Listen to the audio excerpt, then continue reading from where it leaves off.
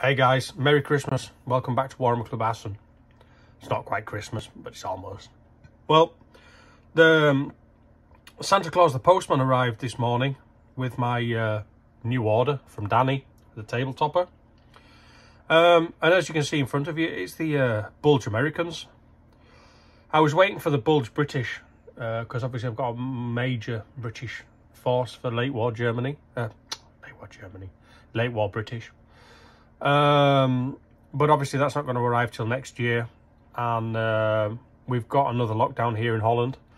So I can't race my radio control cars. So uh, they're all sat on the shelf now, waiting for uh, when we come out of this stupid lockdown. But anyway, to keep me busy, I bought the Bulge Americans. So uh, I'll let you show you, I'll just show you what I've uh, ordered. Obviously the book, nice book. It's quite thick. There's a lot in it, loads and loads and loads and loads of tanks, loads of troops, obviously different formations, different brigades, uh, Bastogne, uh, tank destroyer battalions, and then uh, all the way to support. And then you've got the bulge battles, roadblock, and then you've got special fighting in the fog, winter weather. I have ordered the winter troops to do a Battle of the Ardennes um, list, infantry list supported with a couple of tanks, obviously, because tanks are king.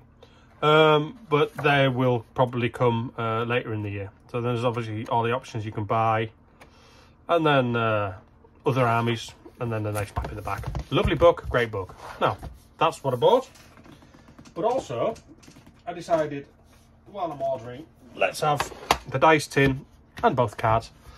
Dice tin I've got for the Russians and the British. So now I've got for the Americans. Unit cards I always buy because I'm always short of them. I use them with every unit. And the command cards because it's a must apparently. There's a lot of, there's a few good command cards in there. So they're a must. Excuse me. And then I bought not only one, but I actually bought two of the starter forces. Um, because I wanted uh, more Shermans to run a complete Sherman platoon. Company, sorry and um, I wanted the infantry so I could run a para platoon. Um, and by the time I'd bought a second para platoon and a, uh, another box of Shermans, I was at the, the, almost at the price for a second starter force. So uh, I bought a second starter box. Um, I'll probably not use these. I don't know what they're called. Canalopes? Canalopes? Somebody correct me on that one. I probably won't use these. But I do have some old turrets left over from the English when I built my uh, Fireflies.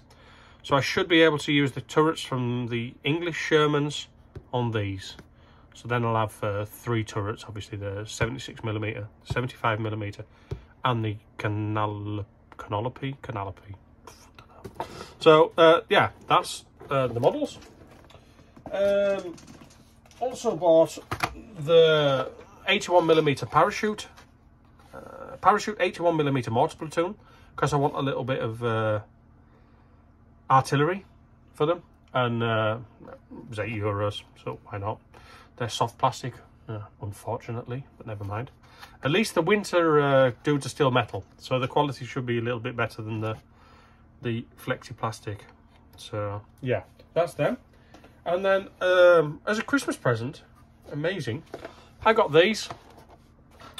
The sprues in this are exactly the same as the sprues for the Shermans in the starter set. So, yeah, you can build out the starter set. You can buy that. You can build the 105 millimeters, or because the the turret is the same as a 75 millimeter, but the obviously the barrel is different. so, I built uh, the 105 millimeters.